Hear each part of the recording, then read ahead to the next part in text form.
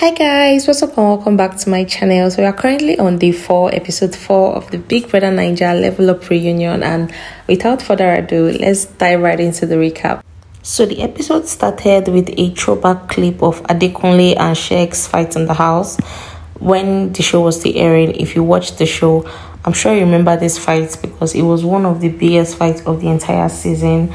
So afterwards, Ebuka asked Sheggz why he always had that impression that Adekunle was a fake person, that he wasn't genuine. And he said the reason for that was because a lot of the times when they were in the house, that Adekunle would like focus on the fact that him, Sheggz, came from a comfortable background and he would say things like, oh, you, your father is comfortable, you have fleets of cars at your disposal, but him, his guys kicked him out of their house, that he's homeless. That those kind of talks just made him feel like Adekunle was acting for the camera and that he was a dodgy guy. And Ebuka asked the same question to Adekunle, but he worded it a bit different. He asked him how him and Sheggz, they went from building a friendship day one, day to being at loggerheads from the beginning to the end of the season. And if Adekunle can remember at what point things went south between them. And Adekunle was like, yeah, that he thinks where things went wrong was when he first told Sheggz that Bella is a beautiful girl. And I actually believe Adekunle because I watched the show from the beginning and that is how things played out. I remember vividly Adekunle and Sheggz, and I think some of the other guys in the house back then when they were in the house, they were talking about the girls in the house. And Adekunle said that Bella was one of the finest girls in their levels. And at that time, Sheggz was already moving to Bella. So, because of that statement that Adekunle made, I think Sheggz thought that okay, this guy also has eyes for Bella. So he started withdrawing back from whatever friendship or bromance that him and Adekunle they were doing. So that was what Adekunle was trying to explain that he feels like it was when he made that statement that Bella is a fine girl that that was where everything went south and Sheggz interrupted him and was like no no no i don't think it's fair for you to make this about bella don't bring her into this and bella too chimed in. I was like yeah don't bring me into this. This is why i said that this guy is a calculative guy. He's trying to change the narrative now. And i was like guys can you relax? Can you allow him finish talking? Like he was still explaining. He was still trying to explain to Ebuka. and you guys just hijacked the conversation the explanation from him. And then Ebuka asked Bella that okay what was it about Adekunle that made you feel like he was not a genuine person? Was it the fact that he kept on talking about his struggles and his background right from day one or what was it? And Bella was like yes that in fact the house issue that he told them about that was what made them start to look at him funny that he told them that his friends they kicked him out of their house and he was homeless and when they asked him what he did that he said he did not do anything and that the thing sounded strange to them like it was weird that okay how can you do nothing? And your friends will just wake up one morning and they'll just kick you out of the house. And on that part i actually believe bella. I actually support her rather because I don't think it makes any sense that somebody would just wake up in the morning and just kick you out of the house for no reason. So she said that was the beginning of you know the end. that was when they started looking at um Adekunle funny, and because they know that Big Brother now people come to the platform to sell this underdog script that they just felt like everything he was saying and doing it was just to play to the camera and just you know act a certain way, sha, just to buy votes. In summary, that was what she was trying to explain.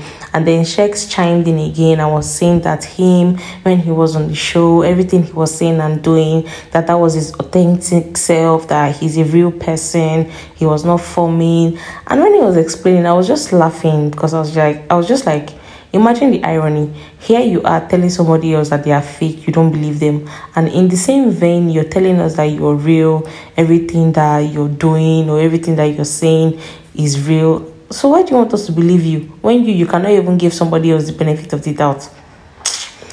I beg, scratch that. So he also brought up the um newsletter saga again. I was like, okay, why did um Adekunle not reach out to them? That's the housemates that felt like he was shading them.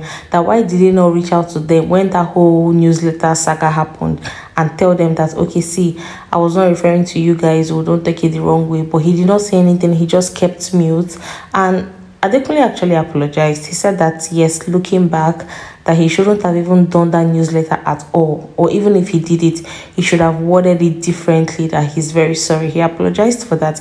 And I'm glad he apologized because, to be very honest, up till today, I still believe that adequately.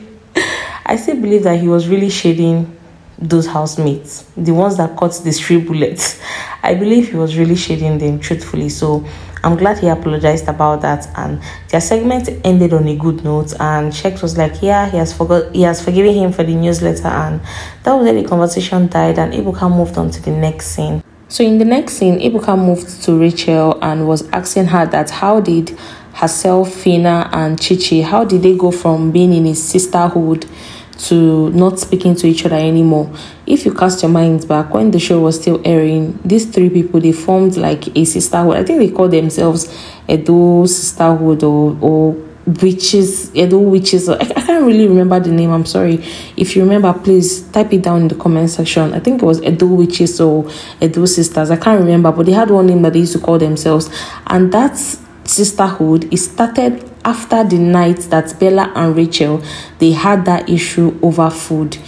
If you watch the season again, like I always say, you will remember the issue that I'm, that I'm talking about. I don't want to go into details and start explaining because this video will be too long. But it was after that night that they started like getting close. They formed that sisterhood because the three of them, they were the three ladies that used to cook for the house at the time. So they were united by what happened. You know, it was like them against Bella and Sheggz so Ebuka was like, How did you guys go from being so close to not speaking again? Mainly Rachel and Chichi, and then Phyna and Chichi. And then um, Rachel, she said that they were never friends, to be very honest, that it was just that event that happened that night that made them come together and it made them say like they were close, but they only used to talk about random things, that they were not close, they were no friends, and that when they left the house, she would call Chichi or she would talk to Chichi and Chichi would ignore her. And then Ebuka asked Chichi the same thing that is it true you guys were never friends? She said yes, that they were never friends that that's the truth. And Ebuka asked her if it is also true that it is because of what happened that night that made them form that sisterhood. And she said no, that it's because they were in a confined space. Rachel was laughing, and I was also laughing because that is a lie. Anybody who watched the show would remember that it was after the issue happened between Bella and Rachel. That was when they started forming that sisterhood between the three of them. So I don't understand why Chichi is lying.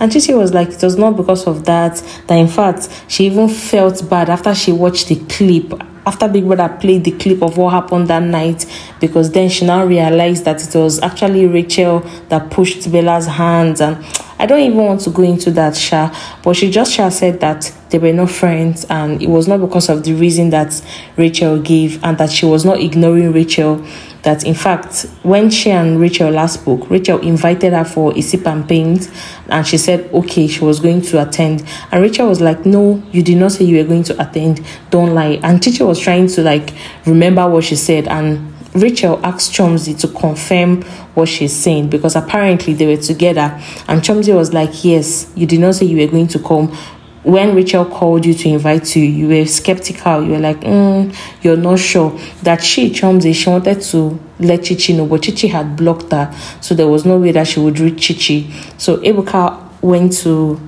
Chichi and was asking Chichi, why did you block Chomzy?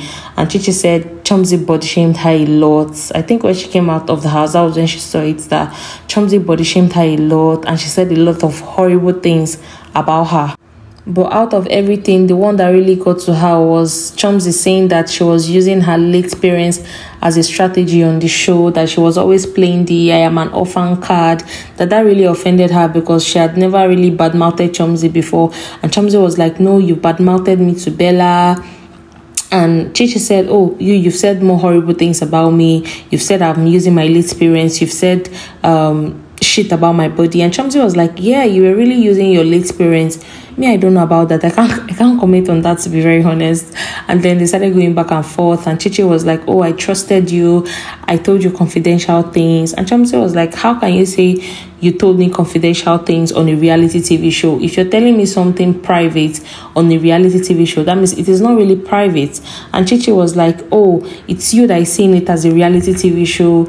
Me, I saw it as, you know, living my real life with real emotions. And then Chomzy strikes the first blow and she said, You that you're claiming you used you, you put your real emotions. Where did it get you? How is Deji? And then Chichi retaliated and said, Okay, at least I'm not like you that all the comedians they are passing around. And Chomzy was asking her to name names, what comedians she's talking about. Chichi refused to name names. Rachel was getting irritated. Even Ilebaye, they were getting irritated, like, okay, why can't you name names? Because Chomzy was really pushing her, okay, say the names of the people, the comedians are talking about. She refused to say the names. So they were just going back and forth, back and forth. Even Ebuka, even Ebuka tried to like asked Chichi that Chichi, what are the names of the comedians? Chichi refused to name names and they just ended their segments there. So Ebuka moved to Phyna and he asked her how the whole sisterhood started and how the thing fell apart.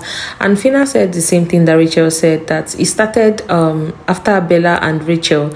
They had that food fight that she's one of the people that cooks in the house. So she understands how it feels for you to cook and your food to just go to waste. So they bonded over that.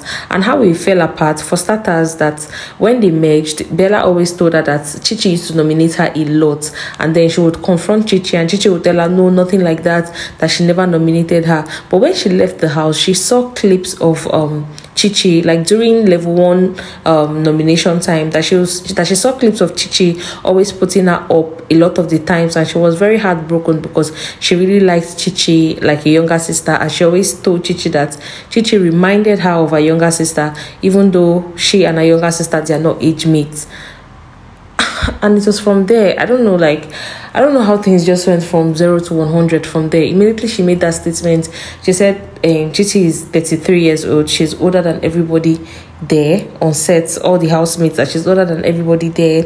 That Chichi has two children. She abandoned in Bini. One died. Chichi is married. Chichi was a stripper, which everybody knows. That Chichi is this man. She just went like crazy. She went crazy on Chichi. She was saying a whole lot of things, and I didn't understand where it was coming from because she was explaining calmly, and it just went from zero to one hundred real quick.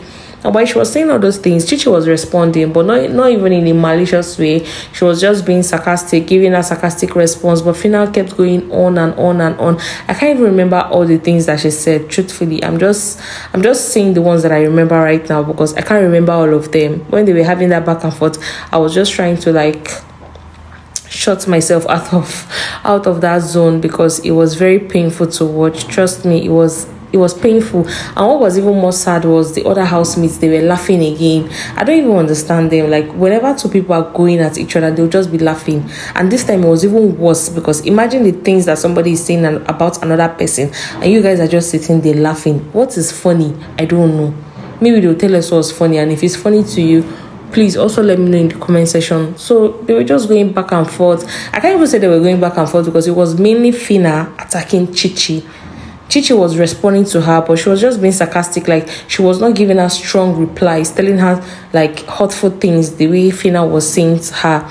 And then after they went for a while, they stopped. And Phyna kept explaining again that even when they left the house, that everything was okay in the beginning. And all of a sudden, Chichi started giving her attitude. Chichi stopped talking to her. And because she already have that narrative in her head that the housemates, they see her as Raz, so they don't want to associate with her outside, that she did not bother asking Chichi that, oh, what's the problem? Why did you stop talking to me? That she just moved on. So it became like asked Chichi, oh, why did you stop talking to her? And Chichi was like, she too, she also saw clips of Phyna bad mouthing her to level two people that she did not allow them to get to know her, Chichi personally, that she was just bad mouthing her to everybody. And then they started going back and forth again at each other. Like it was a mess. It was a mess. They could not even come to a common ground. They kept going and going and going and going till the episode came to an end. Like that was literally how it ended. I'm not even joking. I mean, this episode it was it was very painful to watch. To be very honest, it was very painful to watch. I don't know, like why Phyna like went off the wheels like that. I have no idea because personally, I feel like there was no need for her to go there. There was no need for her to say all the things that she was saying. To be very honest, but yeah, that was the episode so far, episode four, and um, join me in the next episodes. If you have not subscribed, please subscribe to my channel turn on your post notifications so you get alerted whenever I post a new video. Please share, like, comment, subscribe, and I'll see you guys next time. Bye.